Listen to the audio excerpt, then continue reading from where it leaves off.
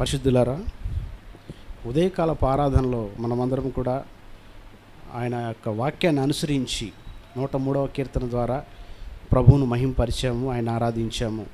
అలాగే బల్ల బల్లలోకి వెళ్ళే ముందు మనల్ని మనం పరీక్షించే రీతిగా వాక్యమైన అర్థంలో పరిశీలన చేసుకోవడానికి పరిశుద్ధ గ్రంథం నుండి అపసరైన పౌలు గలతీలకు రాసిన పత్రిక రెండవ అధ్యాయము ఇరవై వచనము. రెండవ అధ్యాయము ఇరవై ఇరవయవ వచనము. నేను క్రీస్తుతో కూడా సిలువ వేయబడి ఉన్నాను. ఇకను జీవించువాడను నేను కాను. క్రీస్తే నా యందు జీవించున్నాడు. నేనిప్పుడు శరీరమందు జీవించిన జీవితము నన్ను ప్రేమించి నా కొరకు తను తాను అప్పగించుకున్న దేవుని కుమారుని అందలి విశ్వాసము వలన జీవించున్నాను. ఈ వాక్య భాగంలో దేవుడు మరింత విషదంగా మనకు వివరించడానికి గాను ఆత్మ సహాయం కోరుచు చిన్న ప్రార్థన చేద్దాం. మహాపరిశుద్ధుడివైన మహోన్నతుడివైన వాక్యమైన దేవా మీకు వందనాలు. ప్రభా ఉదయకాల ఆరాధనలో మీరు కృప చూపించారు. మీ దేనదాసుని బలపరుచుకొని ఇంతల ఆత్మశక్తితో నింపి మరి శ్రేష్టమైన వర్తమానమును ప్రభా మీరు మాకు అందించి బల బలపరిచి ఆరాధించుటకు కృప చూపించారు. మీరు మా ఎదుట ఉంచబడినట్టు శ్రేష్టమైన రక్తమాంస సాదృశ్యమైన రొట్టెలో రసంలో మేము పాలు పొందుటకు ప్రభా మరి ముఖ్యముగా మమ్మును మేము పరీక్షించుకొనుటకు మీ వాక్యం అనే అర్థమును మీరు మాకు ఇచ్చినందుకు వందనాలు. మరి ముఖ్యంగా అపుస్తైన పౌలు ద్వారా గలతీలకు రాసిన పత్రికలో రెండవ అధ్యాయం ఇరవై వచనం ద్వారా మీరు మా మాతో మాట్లాడనై ఉన్న శ్రేష్టమైన మాటలను బట్టి మేము ప్రభా. నిలిచిన దాసుడు కేవలం మంటివాడు అతడు భూ సంబంధి. ప్రభా ఈ మంటి ఘటంలో మాకు మహిమైశ్వర్యముగా మీరు పోయబడ్డారు. ప్రభా మీ యొక్క మహిమైశ్వర్యమును మేము కలిగి ఉండి క్రీస్తును మాత్రమే మేము కలిగి ఉండి సిలువబడిన వేయబడిన క్రీస్తును తప్ప మరి దేన్ని మీ మధ్య ఎరుక్కుందమన్న ఆ పౌలు యొక్క నిశ్చయతను మేము కలిగి మీ ఎదుట మేము ఉండుట కృప అనుగ్రహించమని ఈ వాక్యం అనే అర్థంలో మిమ్మల్ని మేము పరిశీలించుకున్నప్పుడు సరి చేసుకొని మరి మీకు యుక్తమైన రీతిగా ఆత్మ విమర్శ చేసుకొని ప్రభా మీరు యోగ్యమైన రీతిగా బలలో పాలు పొందినట్లు కృప అనుగ్రహించమని నన్ను మీకు కృపగల హస్తానికి అప్పగించుకుంటూ మా ప్రియరక్షకుడైన యేసుక్రీస్తునామంలో వాక్యములు మా మా వినికిడిలో ఉంచి బలపరచమని ఏసుక్రీస్తు నామలు ప్రార్థిస్తున్నాం తండ్రి. అమ్మే పౌలు గలతీరు రాసిన పత్రికలో అత్యంత ప్రాముఖ్యమైన విషయము నన్ను తాకిన విషయాన్ని మీతో పంచుకోవాలని కోరు కోరుకుంటున్నాను. ముఖ్యంగా ఉన్న విషయం ఏంటంటే ఇక్కడ చదవబడిన వాక్య భాగంలో రెండవ అధ్యాయం ఇరవ వచనంలో ఉన్న పరిస్థితి ప్రకారంగా నేను క్రీస్తు కూడా సిలువ వేయబడి ఉన్నాను. ఇకను జీవించువాడను నేను కాను. క్రీస్తే నాయందు జీవించున్నాడు. నేను ఇప్పుడు శరీరమందు జీవించిన జీవితము నన్ను ప్రేమించి నా కొరకు తను తాను అప్పగించుకున్న దేవుని కుమారుని విశ్వాసం వలన జీవించున్నానని పౌలు తన పత్రికలో వ్రాస్తూ ఉన్నాడు. ప్రాముఖ్యంగా ఇక్కడ ఉన్న విషయం ఏంటంటే నేను కాను. ఎందుకంటే నేను క్రీస్తుతో పాటు సిలువేయబడి ఉన్నాను. నేను క్రీస్తుతో పాటు చనిపోయిన వాడిని ఇప్పుడు నేను జీవిస్తున్న జీవితం అంతా కూడా ఏంటంట? ఆయన విశ్వాసం వలన జీవిస్తున్న జీవితము. ఓ నన్ను ప్రేమించి నా కొరకు తను తాను అప్పగించుకున్న దేవునికి మానేందుల విశ్వాసం వలన జీవిస్తున్నాను. నీతిమంతుడు విశ్వాసమూలముగా జీవించునన్న వాక్యమే ఇందులో మూలార్థంగా గలతీరు రాసిన పత్రికలో ఎక్కువగా ప్రాముఖ్యంగా ఇవ్వబడింది. నేను చూసిన విషయంలో ప్రధానంగా ధర్మశాస్త్రము నీతి కంటే గొప్పదైన నీతి ఏంటంటే దేవుడు అంగీకరిస్తున్నది ఏంటంటే విశ్వాసము వలన జీవించే విధానం. ధర్మశాస్త్ర క్రియలు చేయుట నీతి అని చూస్తున్న ఓ గల్తీయులరా ఓ అవివేకల గ- గల్తీయులరా సిలువు వేయబడిన క్రీస్తుని కూడా చూడండి. సిలువు వేయబడిన క్రీస్తుని చూచుట ద్వారా ఆయన విశ్వసించుట ద్వారా మీరు జీవిస్తారు. ధర్మశాస్త్ర సంబంధమైన క్రియలు అవి ఆ సంబంధమైన క్రియల వల్ల మీరు చనిపోయిన వారై ఉన్నారు. ధర్మశాస్త్ర సంబంధమైన పరిస్థితుల నుంచి బయటికి రండి. బయటకు వచ్చి ఆయన సిలువు వైపు చూసినప్పుడు మీరు ఆయన్ని విశ్వసించి జీవిస్తారు. ఆ విశ్వాసం వల్ల జీవిస్తారని పౌలు గట్టిగా సంభాషిస్తూ ఉన్నాడు. ఓ ఇది వివరిస్తున్నప్పుడు నిజముగా దేవుడు ఎంత గొప్పగా తన యొక్క విశ్వాస జీవితాన్ని బలపరిచారో మనం చూడగలము. నిజంగా చూస్తే నేను చనిపోయాను. ఈ నేను ఎవరంటే ప్రాచీన పురుషుడు. పడిపోయిన ఆదాము పడిపోయిన ఆదాము యొక్క స్వభావంలో నిలిచి ఉన్న మానవుడు ఈ నేను. ఈ నేను కొట్టివేయబడ్డాడు. ఇకను జీవించువాడను నేను కాను. నేను అనేవాడు చనిపోయాడు క్రీస్తుతో పాటు సిలువ వేయబడ్డాడు. ఓ రెండు విధాలైన సిలువలు మనం ఇక్కడ చూస్తాము. ప్రధానంగా చూస్తే ఒకటి లోకము సిలువ వేయబడింది. ఆ గలతీ రాసిన పత్రిక ఆరో అధ్యాయం పద్నాలుగో వచనంలో చూస్తే నిజముగా ఈ అనుభవంలోకి మనమందరం కూడా తీసుకురాబడాలి. అయితే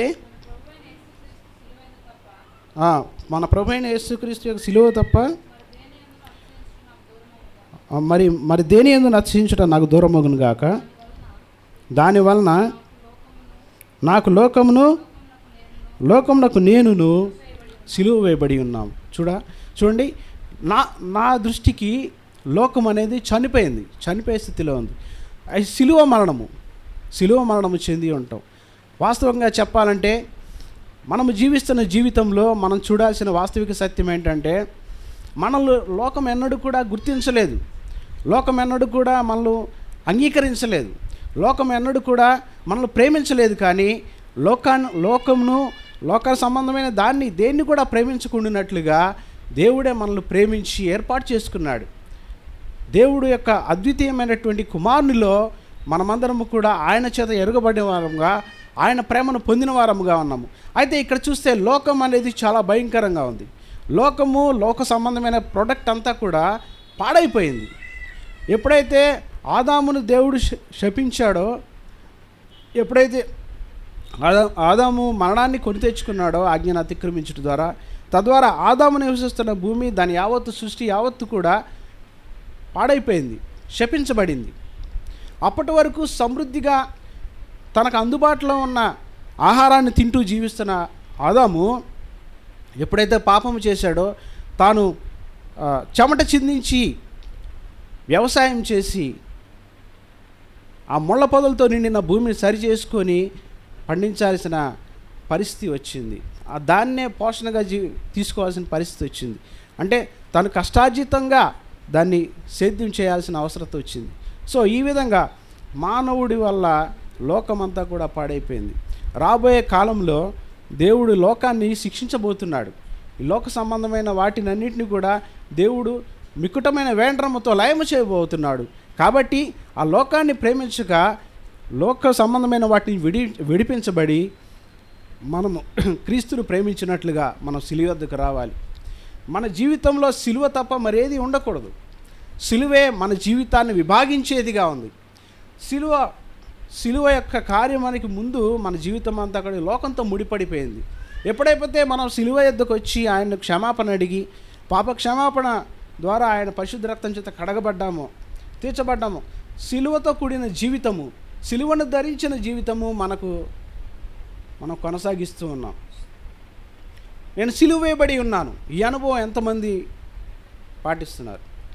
నిజముగా లోకమును ప్రేమించక సిలువను మాత్రమే ప్రేమించి దేవుని యొక్క దేవుని యొద్దకు వచ్చి దేవుని చిత్తానుసారంగా జీవిస్తున్న వాళ్ళు నిజముగా ఈ లోకంలో దేవుని యొక్క నామాన్ని ఘనపరిచేవారిగా ఉన్నారు. రెండవదిగా రెండవ రెండవ విధానంలో చూస్తే శరీరము దాని ఇచ్చలు గలది రాసిన పత్రిక ఐదో అధ్యాయం ఇరవై మూడవ వచనం చూస్తే అక్కడ మనకు తేట తెల్లంగా అర్థమవుతుంది. ఐదు ఇరవై మూడు. దానికి విరోధమైన నియమమేది లేదు. క్రీస్తు యేసు సంబంధులు శరీరమును దాని ఇచ్చలతోనూ దురాశలతోనూ సిలువ వేసి ఉన్నారు. ఓ. ఏంటంటే ఆ క్రీస్తు యేసు సంబంధులు శరీరాన్ని దాని ఇచ్చలతోనూ దురాశలతో సిలువ వేసి ఉన్నారు. శరీర సంబంధమైన ప్రోడక్ట్ ఇది. అంటే శరీరం నుంచి ఉత్పత్తి అయ్యేటువంటి ప్రతీది కూడా ఇక్కడ పైన చూస్తే పదహారో వచనం చూస్తే స్పష్టంగా చెప్తాడు అదేంటని. నేను చెప్పినదేమనగా ఆత్మానుసారంగా నడుచుకొనుడి అప్పుడు మీరు శరీరేచ్ఛను నెరవేర్చరు. శరీరం ఆత్మకును ఆత్మ శరీరమునకు విరోధంగా ఆపేక్షించును. ఇవి ఒక ఒకదాన్ని ఒకటి వ్యతిరేకముగా ఉన్నవి గనుక మీరేవి చేయ నిశ్చయింతురో వాటిని చేయకుందురు. చూడండి ఎంత బాగా చెప్తున్నాడు. అంటే శరీర సంబంధమైన ఆత్మ సంబంధమైన రెండు విభాగించబడ్డాడు రెండుగా విభాగించబడ్డాడు మానవుడు. ఇందాక అన్న పంచుకున్నాడు విషయం. ప్రాణము ఆత్మ శరీరం అంటే ఏంటో స్పష్టంగా చెప్పాడు అన్న. అలాగే ఆత్మ సంబంధంగా జీవించడం అంటే ఆత్మ సంబంధం అంటే దేవుని యొక్క పరలోక సంబంధమైన జీవన విధానం దేవుని యొక్క ఆత్మానుసారమైన క్రమాన్ని అనుసరించడం ఆత్మను బట్టే మనం అనుసరించడము ఆయన్ను ఆయన్ను అవలంబించడం ఆయన భక్తి జీవితాన్ని. అయితే ఇక్కడ చూస్తే శరీరం అనేది దాని ఇచ్చలతో కూడా సిలువ వేసిన అనుభవంలో చూస్తే మనం ఆత్మచేత నడిపింపబడిన వారమైతే మనం ధర్మశాస్త్రమునకు లోనైన వారము కాము అంటాడు. లోక సంబంధమైనదంతా కూడా శరీర సంబంధమైనదంతా కూడా క్రియలతో కూడింది. లోకం ఎప్పుడు మన క్రియల్ని క్రియలను అడుగుతూ ఉంటుంది. నీ విశ్వాసం నువ్వు దేవుణ్ణి విశ్వసిస్తున్నావు అంటున్నావు కదా నీ దగ్గర క్రియలేవి? లోకం ప్రశ్నించే ప్రశ్న ఇది. మన జీవన విధానం కూడా అలాగే ఉంటే ఆ ప్రశ్నకు జవాబు దొరికినట్టే వాళ్ళకి. కదా? మనము ఆత్మ సంబంధమైన జీవన విధానాన్ని అనుసరిస్తున్నామా? ఉదయం మొదలుకొని సాయంకాలం వరకు ఒక్కసారి మనల్ని మనం పర పునర్విమర్శ చేసుకుంటే నిజంగానే నాకు కొన్నిసార్లు ఆలోచించినప్పుడు అర్థమవుతున్న విషయం ఏంటంటే ఉదయం లేచింది మొదలుకొని సాయంత్రం వరకు దేవుని చిత్తానుసారంగా ప్రవర్తిస్తున్నామా? మనం దేవుని దగ్గరికి వెళుతున్నాము అసలు ఫస్ట్ ఫస్ట్ ఆఫ్ ఆల్ దేవుని దగ్గరికి వెళ్ళి అడుగుతున్నామా మనం?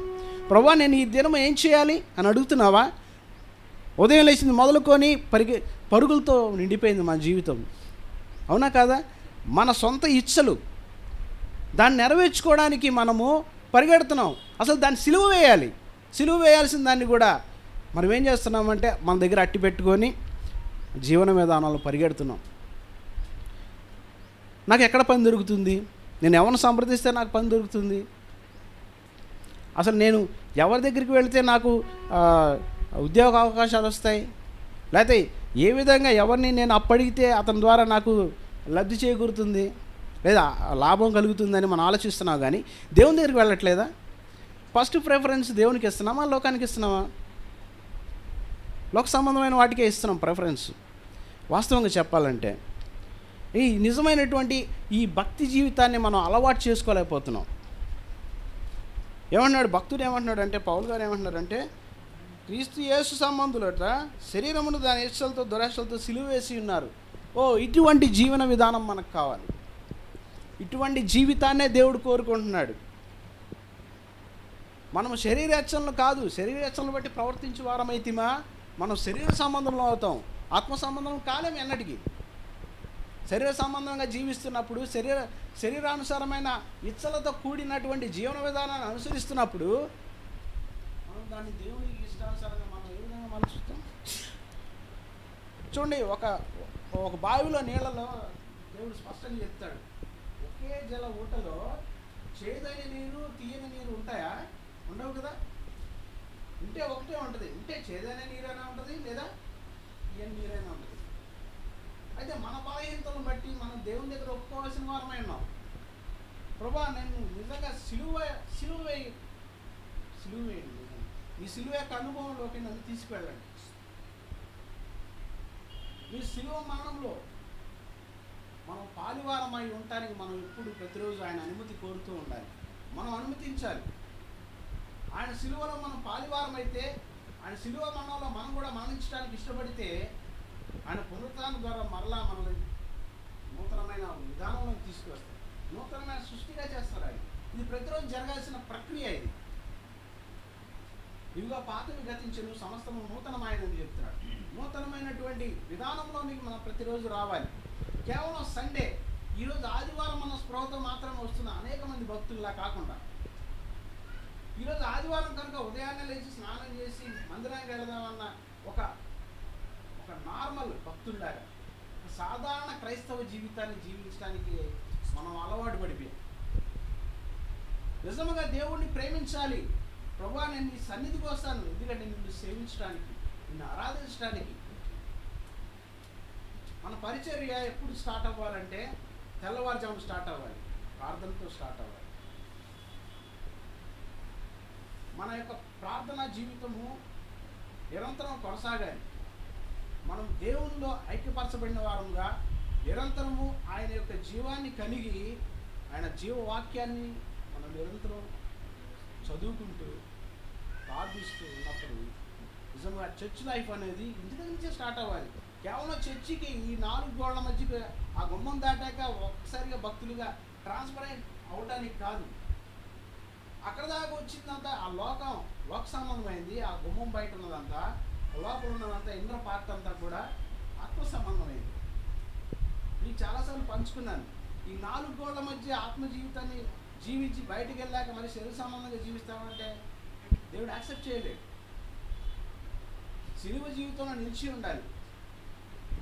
మన విషయం చూస్తే మనము చూడండి ఒకే మన మా ఫోన్లు ఇప్పుడు sixty four GB one twenty eight GB వస్తున్నాయి. కదా? మన ఫోన్లో నిజంగా చూస్తే మన ఫోన్ చూస్తే చాలు.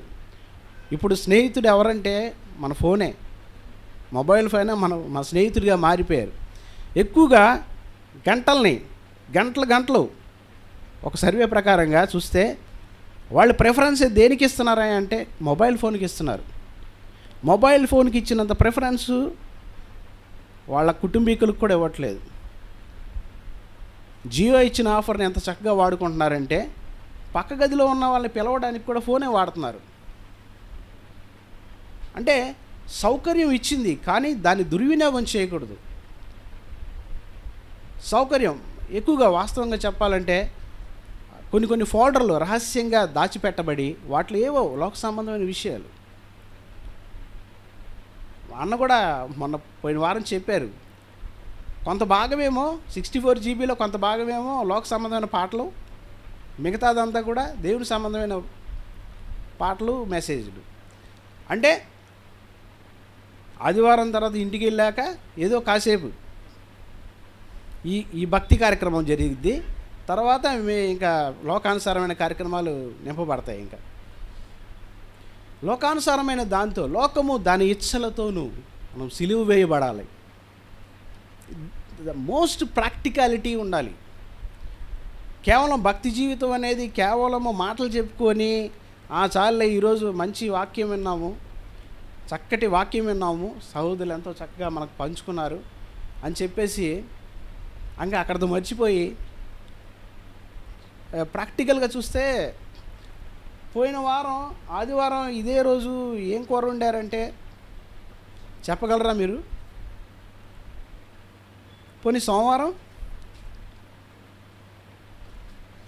దాదాపుగా చెప్పలేరు. ఎందుకో తెలుసా? మన జ్ఞాపక శక్తి అనేది చాలా స్వల్పంగా ఉంది. అనేక విషయాలతో నింపబడినప్పుడు మనం చెప్పలేము.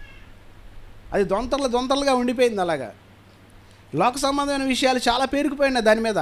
ఆధ్యాత్మికమైన ఆధ్యాత్మికమైన వాటి మీద లోక సంబంధమైన వాటిని నింపేశాం మనం. అవి ఎక్కడో అడుగునున్నాయి ఆధ్యాత్మికమైన అడుగునున్నాయి. అవి తీయాలంటే చాలా టైం పట్టిద్ది. టక్మని తీసివ్వడానికి మనం అక్కడ లేము. ఎందుకంటే మనకు తెలియకుండానే నింపబడుతున్నాయి. మన మనకు తెలియకుండానే శరీర సంబంధంలో ప్రవర్తిస్తున్నాము. మన నోటి మాటలు మన మన క్రియలు మన చూపులన్నీ కూడా శరీర సంబంధంగా మారిపోతున్నాయి. ఓ సిలువ వేయబడాలి. నేను క్రీస్తుతో పాటు సిలువ వేయబడి ఉన్నాను. ఈ విధానంలో మన జీవన విధానం ఉండాలి. పరిశుద్ధులారా ఇది హెచ్చరిక. మన జీవితం ఎప్పుడు కూడా క్రీస్తు సంబంధంగా ఉండాలి. క్రీస్తులో ముడిపడిందిగా ఉండాలి. క్రీస్తులోనే ఉంది అంత విషయం అంతా కూడా. మనలో ఉన్నటువంటి చెడు స్వభావము శరీర సంబంధమైన కార్యాలన్నీ విసర్జించి ఆత్మానుసారమైన క్రియలు చేయాలి. ఐదు ఇరవై చూద్దాం. ఆత్మానుసారమైన కార్యములు. గలతి ఐదు ఇరవై ఐదు. మనం ఆత్మానుసరించి జీవించు జీవి జీవించు వారమైతిమా ఆత్మను అనుసరించి క్రమముగా నడుచుకుందాము. ఒకరినొకరము వివాదమునకు రేపకయు ఒకరి ఎందొకరము అసూయ పడకయు వృధాగా అతిశయపడకయు ఉందము. ఆత్మానుసారమైన జీవన విధానం. ఆత్మానుసారమైన స్థితిలో మనం ఉండాలి. పదహారులో చూస్తే నేను చెప్పినది మనకు ఆత్మానుసారంగా నడుచుకొనుడి అప్పుడు మీరు శరీరేచ్ఛను నెరవేర్చరు. ఆత్మానుసారంగా నడుచుకోవడం ప్రాక్టికాలిటీ. Be practicality. మనం ఎప్పుడైతే ఆత్మానుసారంగా నడుచుకుంటామో ఎప్పుడైతే ఆత్మానుసారంగా నడవడం ప్రాక్టిక ప్రాక్టీస్ చేస్తామో ఆటోమేటిక్గా మన నడక నడత మాట తీరు మన ప్రవర్తన మార్ మార్పు చేయబడతాయి. మనం పరిశుద్ధులకు మాదిరిగా ఉంటాము పౌలు అంటాడు నేను క్రీస్తుని పోలి నడుచుకున్న ప్రకారం మీరును నన్ను పోలి నడుచుకునుడి. మనము మన పైన నాయకులుగా ఉన్న వారిని మనం గౌరవిస్తూ వారి వారి యొక్క మాదిరిని మనం కలిగి ఉండాలి. మనం వారు చేస్తున్నటువంటి ప్రార్థన భక్తి జీవితాన్ని అనుసరించే వారమై ఉండాలి. చాలామంది ఈ రోజుల్లో లోకానుసారంగా ఎవరెవరన్నా పెట్టుకుంటున్నారు మోడల్గా. కానీ యేసుక్రీస్తును మోడల్గా పెట్టుకున్న వాళ్ళు ఎవరైనా ఉన్నారంటే అది క్రీస్తు క్రీస్తును కలిగి ఉన్నటువంటి క్రీస్తును ధరించినటువంటి క్రైస్తవులు మాత్రమే ఆ పని చేయగలరు. మన వల్ల మాత్రమే అది సాధ్యపరచబడదు. లోకంలో అంత డూప్లికేట్. అన్న చెప్తూ వచ్చారు స్టార్లు ఉన్నారు ఈ లోకంలో స్టార్లు ఉన్నారు అది డూప్లికేట్ స్టార్లు అవి కదా? కానీ వాళ్ళ మాదిరిగా పెట్టుకుంటున్నారు.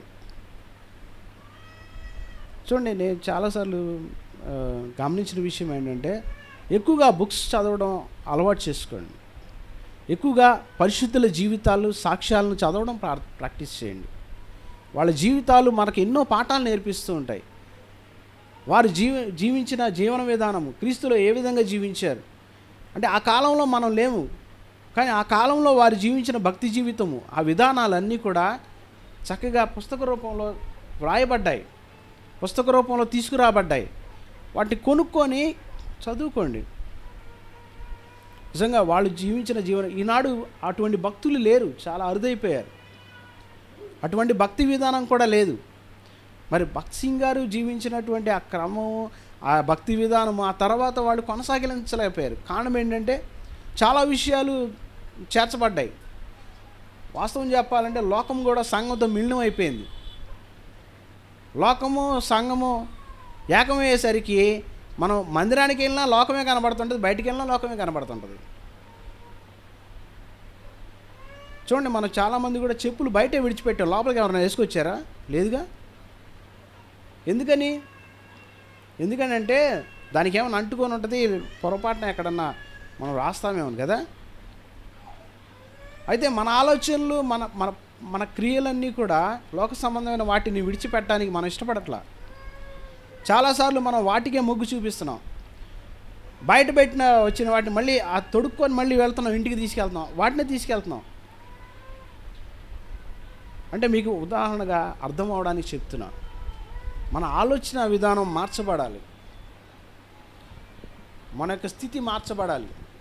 ప్రభువులో మనము అంటుకట్టబడిన వారమై శరీర సంబంధము కాక ఆత్మానుసారంగా నడుచుకునే క్రమాన్ని మనం అలవర్చుకోవాలి. దీని విషయంలో మొదటి కోరింది పదకొండు ఇరవై ఎనిమిది చూద్దాం చివరిగా.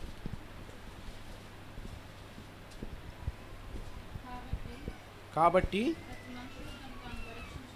ప్రతి మనుష్యుడు తను తాను పరీక్షించుకోవాలను. అలాగు చేసి ఆ రొట్టెను తిని ఆ పాత్రలోనేది తాగవలను. చూడండి పరీక్షించుకోవడం చాలా అవసరం. మన జీవితాన్ని ఇష్టానుసారంగా జీవించేసి ఈ వారమంతా కూడా జీవించేసి మనం ఇక్కడికి వచ్చి రొట్టెలు చేయాల్సిన చూడండి మనం భోజన కార్యక్రమం ఏర్పాటు చేసుకున్నప్పుడు తప్పనిసరిగా బయట ఒక బకెట్ పెట్టబడుతుంది. చేతులు కడుక్కోవడానికి భోజనానికి ముందు చేతులు కడుక్కోవడానికి లేదా కాళ్ళు కడుక్కుంటారో మరి ఏదైనా చేయొచ్చు. ఎందుకంటే భోజనం అనేది మనం చాలా జాగ్రత్త లోపలికి వెళ్ళేది కనుక మనం చాలా జాగ్రత్తగా తీసుకుంటాం. అవునా? దాని కొరకు ప్రత్యేకమైన శ్రద్ధ తీసుకుంటాం. చూడండి ఇది అంతకన్నా శ్రేష్టమైంది. ఆయనే మనకు రొట్టెగా అందించబడుతున్నారు. ఆయన రసముగా అందించబడుతున్నారు. మనం తినటానికి తాగడానికి ఆయనే మన కొరకు కలువరి సిలువలో బలి అయ్యి ఆహారంగా మారారు. అది కేవలం భౌతిక సంబంధమైన పదార్థంగా మనం తీసుకుంటున్నామా? ఆత్మ సంబంధమైన పదార్థంగా తీసుకుంటున్నామా? మర్మమైన క్రీస్తు అందులో దాగి ఉన్నాడు. ఆ మర్మాన్ని మనం గ్రహించాలి. చాలా చోట్ల చూడండి. కొద్ది చోట్ల మరి ఆ వాళ్ళు ఎందుకు చేస్తారో నాకు తెలియదు కానీ కొన్నిసార్లు సంవత్సరానికి ఒకసారి సంవత్సరానికి నెలకి ఒక్కసారి ఇలాగా తీసుకుంటూ ఉన్నారు. కానీ ప్రతిరోజు కూడా క్రీస్తు మనకు తినటానికి అందుబాటులో ఉన్న ఆహారం అని గ్రహించాలి మనం. మనకు అందుబాటులో ఉన్నారు క్రీస్తు. నన్ను తినువాడు నశింపక నిత్య జీవం పొందుతాడు. ఆయన చెప్పిన మాటలు అవి. ఆయన తినాలి ఆయన త్రాగాలి. ఆయన యొక్క సంపూర్ణమైనటువంటి భోజనంగా ఉన్నాడు. చూడండి ఒక ప్లేట్లో ఆహా అన్నంతో పాటుగా రకరకాలైన డిషెస్ ఉంటాయి అవునా? రకరకాలైన కూరలు రకరకాలైన విషయాలు ఉంటాయి. క్రీస్తు ఆ మొత్తం యొక్క ప్యాకేజ్ ఈ వాస్తవాన్ని గ్రహించట్లా క్రైస్తవులు. అంటే నేను దీనికి వ్యతిరేకం అని కాదు కానీ వాగ్దానాలు తీస్తూ ఉంటారు. వాగ్దానాలు తీస్తున్నప్పుడు నేను గమనించిన విషయం ఏంటంటే ఒక సహోదరి దగ్గర నేను గమనించాను. ఆమెను అడిగాను కూడా.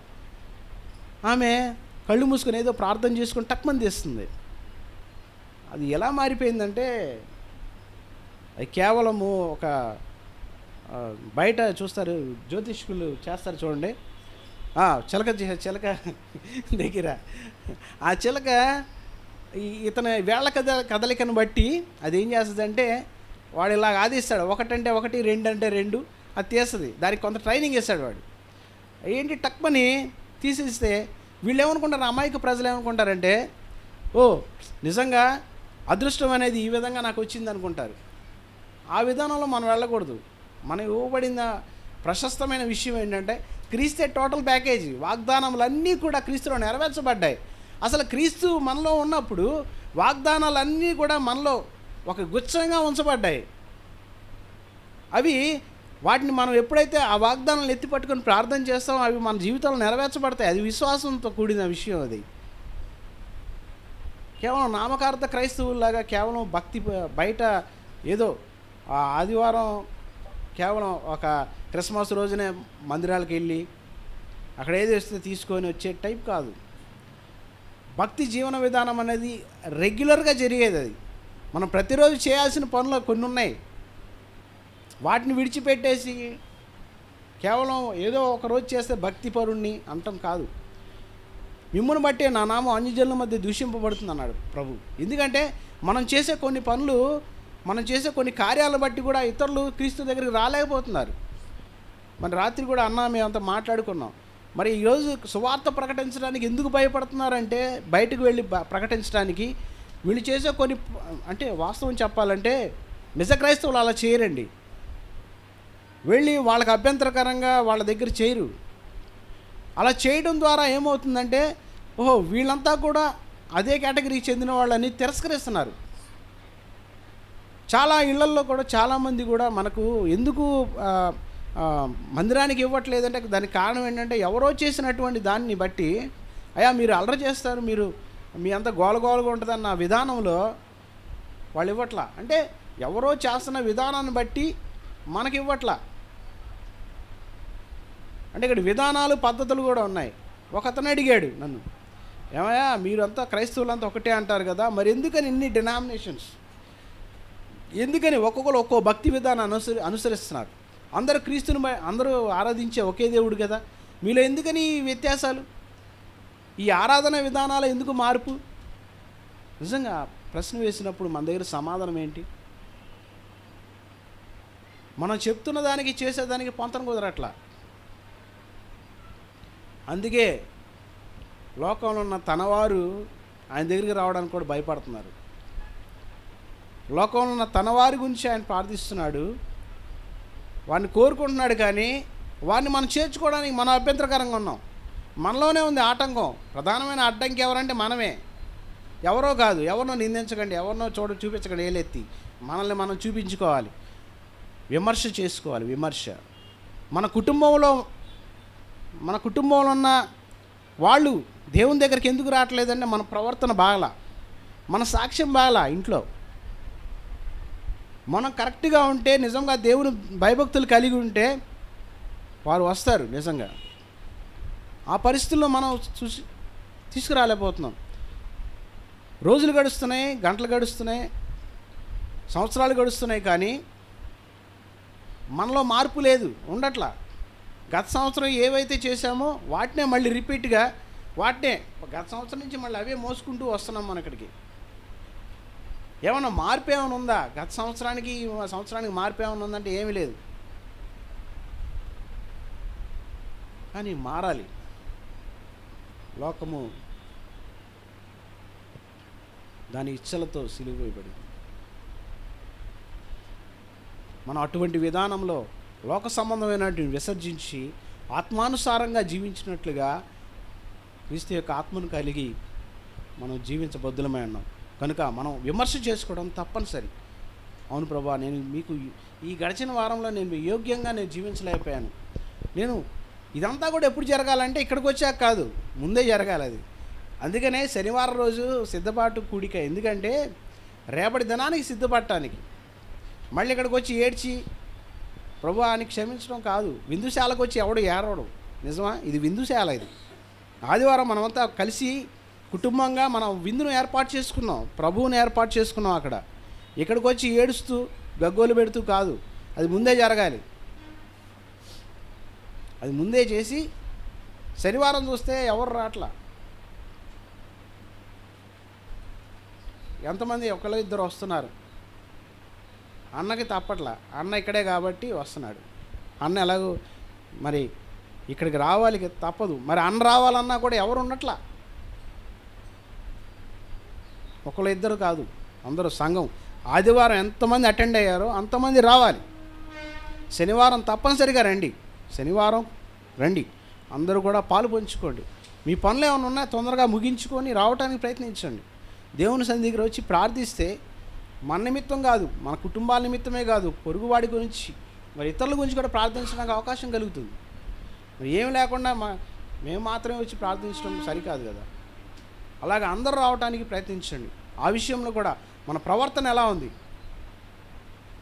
మనం దేవుడు అప్పగించిన బాధ్యతలు సక్రమంగా చేయడానికి ఏ విధంగా మనం ఆత్మ సంబంధంగా జీవిస్తున్నాం?